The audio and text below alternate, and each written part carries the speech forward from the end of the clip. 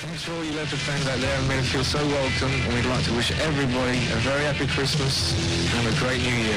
Thanks, Steve. Def Leppard's current hit is the fifth top 40 hit from their album Hysteria.